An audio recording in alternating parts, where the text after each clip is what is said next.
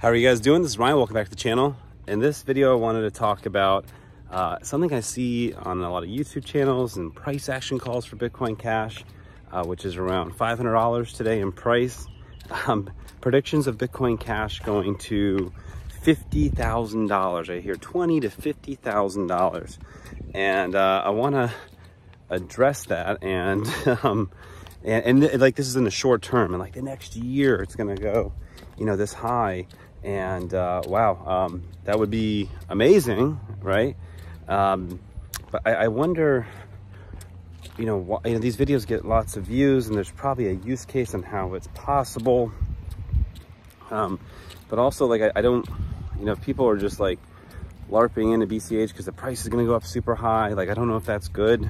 Um, I do think Bitcoin Cash deserves to be a lot higher, and I wouldn't be surprised if it was worth $50,000. Um, but I don't know if it's possible, but I think the $20,000, like that's, can become a somewhat realistic conversation on a few things.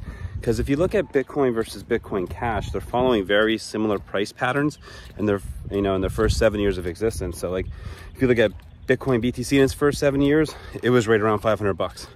Bitcoin Cash in its first seven years, right around $500.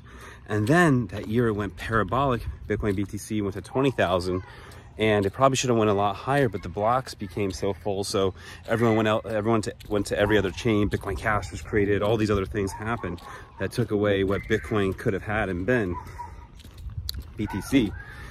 So, um, so I do think 20,000 from that perspective because BCH is likely to get an ETF approval. Uh, BCH, has cash tokens, which is a much more efficient way, it seems, from what I'm looking at in a cost perspective. Uh, I know the tech still needs to be developed further, but for DeFi protocols over EVMs on like Ethereum and centralized chains like Solana, BCH is gonna, it's it's literally probably the, the best in the market right now, and it's not priced appropriately.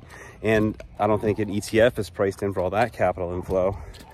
And plus, you know, and then, you know, when Bitcoin Cash just starts outperforming Bitcoin BTC year over year, the store of narrative value goes away for BTC because Bitcoin Cash, if it keeps on outperforming, becomes a better store of value.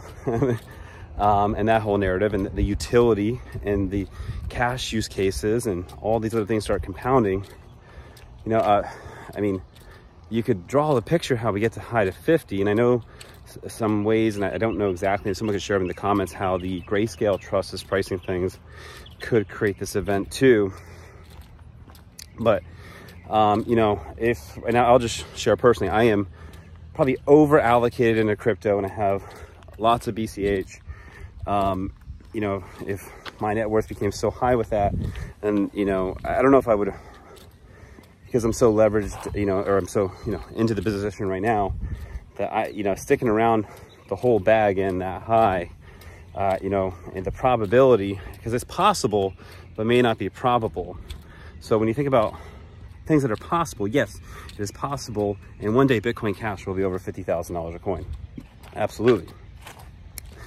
Is it probable in the next year? I don't think it's probable. Um, could it do something amazing? You know, I predicted 2,000 BCH. Could we do 20,000? I would still say my 2000 number may be, uh, you know, low. Um, but, you know, you got to think about your strategy and you got to think about probability versus possibility. You know, I, I know 2000 and this year I thought was very possible. You know, and we got all the way up to 700 so far. Now, do do I think uh, after 2000, yeah, you know, maybe keep some out there because these things are possible but less probable. I don't know, just a way to think about it. You know, these high price actions, you know, I, I am cautious. When I said 2000, uh, Jeremy, the Bitcoin Cash podcast, he's always a little bit more moderate, but, you know, holds the hype inside. He's like, whoa, you know, 10X this year. Uh, you know, and I, and I was like fully bullish. And now like I have people that make me look like I'm bearish. so, Don't let me know your thoughts on the comment section. Is $50,000 possible for Bitcoin Cash in the next 12 months? Uh, is 20,000, you know, for sure? Or are you more conservative like me, thinking like 2,000 uh, is definitely there. But, you know, maybe we do chase BTC's 2017. Our charts look very similar. Um, the market's moving in our favor. Let me know what you guys think.